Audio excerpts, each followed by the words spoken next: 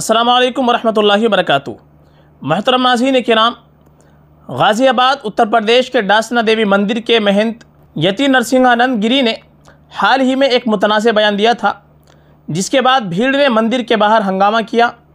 اب اس تعلق سے اور تہواروں کے پیش نظر پیر کو chief secretary, D G P, additional chief secretary, داخلہ اور دیگر محکموں کے اعلیٰ افسران کے ساتھ امن و امان کی صورتحال کا جائزہ لیتے ہوئے وزیر اعلیٰ یوگی نے کہا کہ ہر مذہب اور فرقے کے عقیدے کا احترام کیا جانا چاہیے۔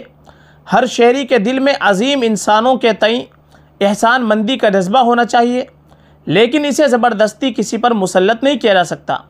وزیر اعلیٰ نے کہا کہ اگر کوئی شخص عقیدے سے کھیلتا ہے، عظیم انسانوں، دیوتاؤں، فرقوں وغیرہ کے عقیدے کے خلاف نازیبا ریمارکس کرتا ہے تو اسے قانون کے کٹہرے میں لا کر سخت سزا دی جائے گی۔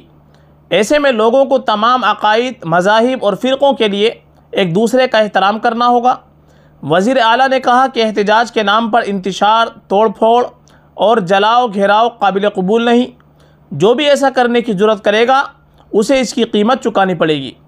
پولیس انتظامیہ کو ہدایات دیتے ہوئے چیف منسٹر نے کہا کہ ہر ضلع اور ہر پولیس اسٹیشن کو اس بات کو یقینی بنانا ہوگا کہ شاردیہ نوراتری وجے دشمی کا تہوار خوشی، امن اور ہم آہنگی کے ماحول میں منایا جائے۔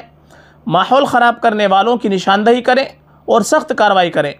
قانون کے خلاف کام کرنے والوں سے سختی سے نمٹا جائے۔ خواتین کی حفاظت کو یقینی بنانے کی ہدایات دیتے ہوئے وزیر اعلیٰ نے کہا کہ پر ہجوم علاقوں میں فٹ پیٹرولنگ اور پی آر وی ایک سو بارہ پیٹرولنگ کو تیز کیا جائے۔ انہوں نے کہا کہ خواتین اور بیٹیوں کے تحفظ اور آرام کو یقینی بنایا جائے، اس کے لیے تمام محکمے مل کر کام کریں۔